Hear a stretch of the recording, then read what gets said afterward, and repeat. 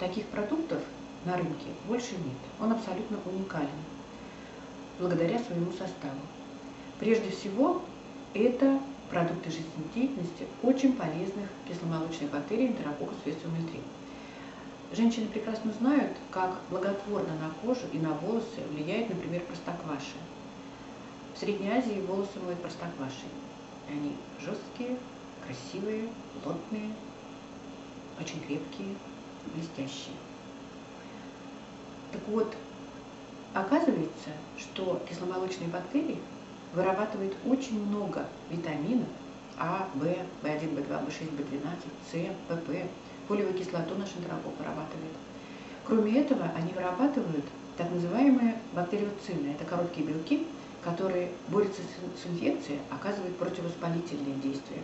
И в целом все то, что вырабатывают бактерии, позволяет укрепить местный иммунитет, иммунитет кожи, иммунитет слизистых.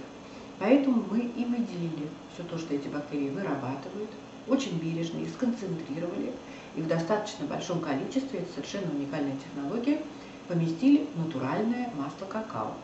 На сегодня на рынке существует очень много заменителей масла какао, которые существенно дешевле, чем масло какао. Но мы пользуемся только натуральным маслом, его температура плавления 28 градусов, поэтому этой маской удобно пользоваться. И в целом а, масло какао является мощным гидратирующим компонентом. Его используют косметологи для того, чтобы увлажнять кожу. Вот такой состав маски. Только натуральное масло какао и только метаболиты очень полезных молочнокислых бактерий.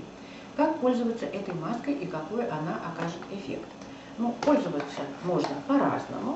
Вот эта масочка представляет из себя такую полусферу ароматную, которая пахнет какао. Ее надо приложить к коже, к теплому участку. Так как температура плавления масла какао 28 градусов, то она очень быстро, через несколько секунд, начнет плавиться. После этого ее можно нанести на кожу.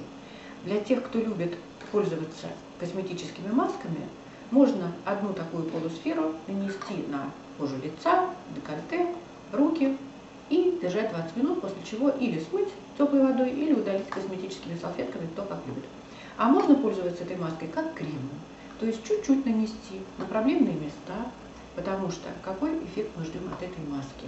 Улучшение питания кожи, улучшение микроциркуляции кожи, улучшение внешнего вида и тургора.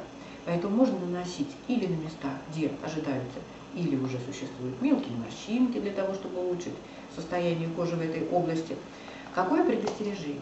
Единственное предостережение – это наличие очагов гноя, больш... Э, крупных очагов гноя, которые требуется сушить. Если их увлажнять, то будет еще хуже.